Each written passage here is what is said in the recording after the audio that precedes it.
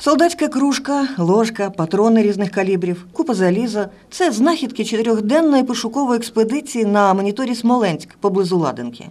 Чотири дні пошуковці працювали в екстремальних умовах у багнюці з не дуже приємним запахом. Але так дописуються невідомі сторінки історії. Здесь мы находимся возле машинного отделения, которое еще до нас мародеры раскопали. Вот мы сейчас его делаем засыпку грунтом. Вот это барбет э, кормовой башни. Здесь стояла башня э, с двумя пушками 45-миллиметровыми.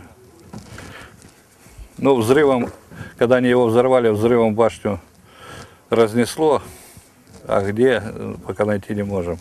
Раніше монітор Смоленськ називався Краков. Він був у складі пінської флотилії Польщі. У 1939 році його затопили, а згодом підняли та реставрували вже радянські фахівці. Польські науковці пам'ятають про монітор. Pierwszy był e, monitor Kraków. E, w Pol, w, nazwany Pols i, i zdjęłany w Polszu e, na Wisła rieka w Krakowie.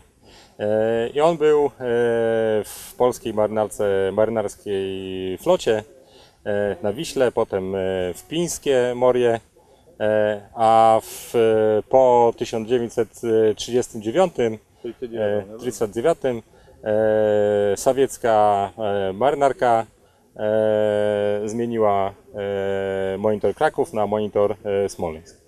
Чорні археологи вже виставляли в інтернеті лоти з знахідками з машинного відділу монітора Смоленськ. На відміну від мисливців за антикваріатом, учасники експедиції мають всі необхідні дозволи на проведення пошукових робіт. І результати цих робіт буде презентовано на виставці в Національному музеї-заповіднику Битва за Київ у 1943 році. То, что здесь происходило 75 лет назад, он был подорван на месте, он был уже поврежден. Кроме того, в 70-х годах местное руководство его сверху срезало полностью, то есть верхней части нет, есть только часть, связанная с днищем корабля. Вот. И потом было засыпано песком, под- подогнали, насколько я помню, баржу сюда и засыпали для того, чтобы как бы законсервировать объект. Вот сейчас мы открываем то, что было законсервировано в 70-х годах. Там внутри, особенно на дне, остается то пласт истории, который мы сейчас поднимаем. Именно на дне корабля, на днище. Смоленськ невеликий корабель 36 метрів завдовжки, 6 метрів завширшки. Проте в обмілілій десні його добре видно, тому краєзнавці розглядають можливість зробити монітор туристичним об'єктом. За 70 років, який корабель знаходиться у землі, тут вже було дуже багато археологів і справжніх археологів, і чорних археологів, так званих.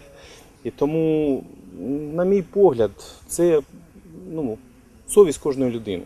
Якщо людина приїжджає сюди для того, щоб збагатіти на історії, збагатіти десь на горі інших, бо це ж була війна, то я розумію, що ми будемо прикладати максимум зусиль, щоб цього не допускати. Фахівці наголошують, місцина біля ладенки може стати або музеєм під відкритим небом, або мекою для чорних археологів.